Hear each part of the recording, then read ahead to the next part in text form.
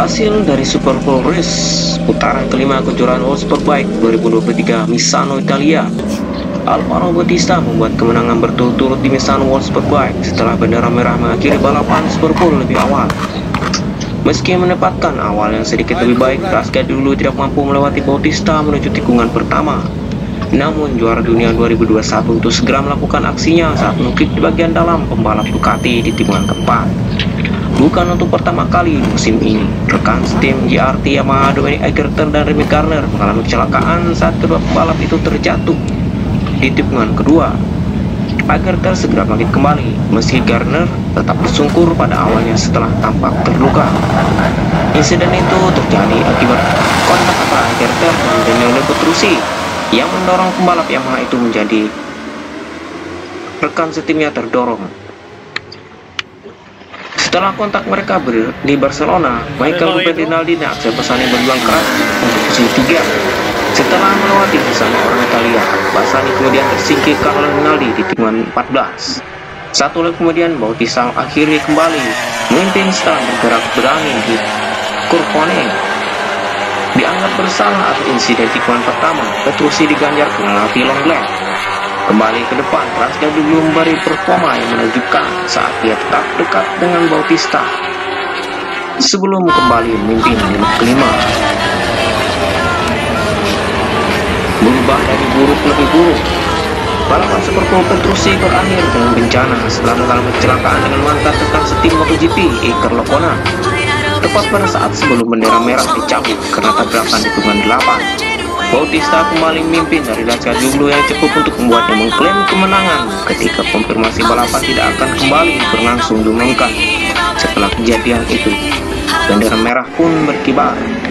Seperti bentrokan lap muka, Petrucci kembali melakukan kesalahan saat melakukan kontak dengan Iker Lopon. Kali ini sebagai balapan Superpole, Bundesliga Italia bersama Bautista kecepatan pemenang dengan Rasgat dulu di posisi kedua dengan gap 0.101 detik. Kemudian Michael Ruben Rinaldi mengisi di posisi ketiga dengan 0.738 detik dari Bautista. Axel Bassani kembali merebut posisi keempat dengan gap 2.239 detik. Jonathan Ray ada di posisi kelima. Kemudian keenam ada Alec Loas, ketujuh Andrea Locatelli, ke-8 Safi Berge.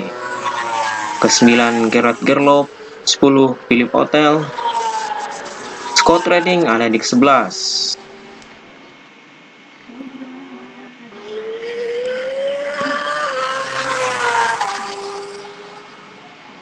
Baldasari ada di ke-12 13 Torres Bas Bradley Ray ke-14 Hafiz Sarin ke-15 Tito Rabat 16 Isa Penales 17 Vitali ada 18 Mizuno 19 Seekers 20 Agerter kembali ke track dan finish ke-21 sedangkan yang DNF Danilo Petrucci Iker Lokona Remy Garner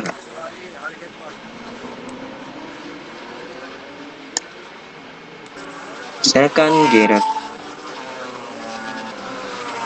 Sedangkan pembalap duo wildcard tuan rumah BM Racing tidak melakukan balapan.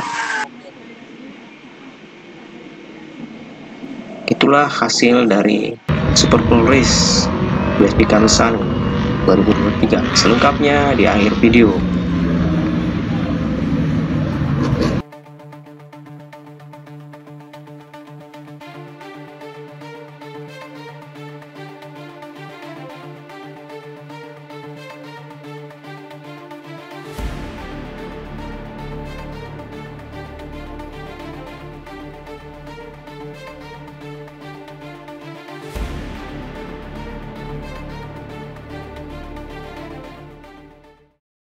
Grazie. across to the podium. I can also see down here, ladies and gentlemen, the presentations will be made by the Adesso è da quando io- World Champion and the Superbike World ah, Champion.